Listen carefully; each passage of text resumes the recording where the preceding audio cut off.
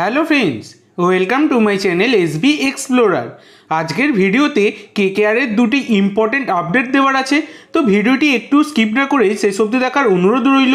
আর যারা এখনও পর্যন্ত চ্যানেলটা সাবস্ক্রাইব করনি, কিসের ওয়েট করছ? এখনই সাবস্ক্রাইব করে দাও। যে কোনো ধরনের স্পোর্টস রিলেটেড আপডেট সবার আগে পাওয়ার জন্য।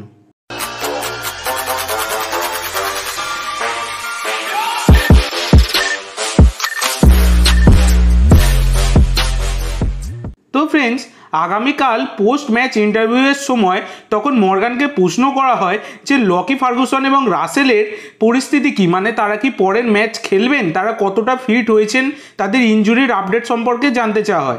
তখন মর্গান একটা কথা বলে, আমাদের টিমের যারা ট্রেনার রয়েছেন, তারা তাদের ইঞ্জুরির ওপর নজর রাখছেন এবং আই হোপ খুব তাড়াতাড়ি তারা দুজনেই সুস্থ হয়ে উঠবেন। তো দেখো, আগামীকাল লকি ফার্গুসনকে কিন্তু দাগ আউটে দেখা গিয়েছিল। মানে মাঠের বাইরে সাইড লাইনের বাইরে তিনি বসেছিলেন। এবং তিনি বারবার দৌড়ঝাঁপও করছিলেন বাইরে, কিছুটা প্র্যাকটিস টাইপের করছিলেন, বলা যেতেই পারে।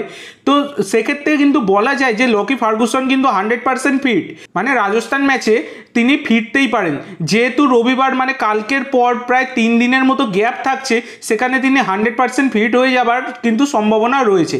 তো ফিট তিনি হয়তো হয়েও গেছেন, নাহলে তিনি সাইড লাইনে বসতেনও না, আশা করা যায়। রাসেলের ইঞ্জুরিটা কতটা গুরুতর এবং রাসেল কবে কাম করবেন? তো ফ্রেন্ডস দেখো, এই মুহূর্তে সব থেকে বড় সুখবর, আমি তোমাদেরকে কিছুদিন আগে কিন্তু বলেছিলাম যে হিট থেরাপি দেওয়া হচ্ছে রাসেলকে এবং সেইটার তিনি ইনস্টাগ্রামে কি পোস্ট করেছিলেন একটা স্টোরি সেইটাও আমি তোমাদেরকে প্রমাণস্বরূপ দিয়ে আমি তোমাদেরকে ব্যাপারটা বলেছিলাম, আলোচনা করেছিলাম। রাসেল একটা ইনস্টাগ্রামে স্টোরি পোস্ট করেছেন, সেখানে পরিষ্কার দেখা যাচ্ছে তিনি জিম সেশানে প্র্যাকটিস করছেন। এখান থেকে ব্যাপারটা পুরোপুরি ক্লিয়ার যে রাসেল পুরোপুরি ফিট না হলেও অন্তত সিক্সটি থেকে সেভেন্টি পার্সেন্ট কিন্তু ফিট হয়ে গেছেন। তিনি জিম সেশন চালু করেছেন মানে হিট থেরাপি তার শেষ হয়ে গেছে।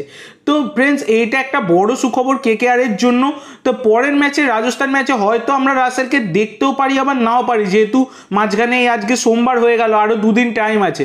তো আমার মনে হয় না, খুব একটা রিস্ক নেবে কে কে আর শিবির রাসেলকে নিয়ে নেক্সট ম্যাচে নামানোর জন্য। তো হতে পারে, রাজস্থান ম্যাচের পর কেকেআর যদি ওঠে প্লে অফে সেক্ষেত্রে কিন্তু রাসেলকে আমরা দেখতে পাবো প্লে অফের প্রথম ম্যাচ থেকে। তো আজ এইটুকুই আপডেট দেবার ছিল ফ্রেন্ডস আই হোপ আপডেটটা তোমাদের ভালো লেগেছে। আজ এইটুকু বন্ধুরা। ভিডিওটি ভালো লাগলে অবশ্যই লাইক করো শেয়ার করো। আমার চ্যানেলে প্রথমবার এসে থাকলে চ্যানেলটি সাবস্ক্রাইব করো আর কমেন্ট করে জানাও ভিডিওটি কেমন লাগল। ধন্যবাদ।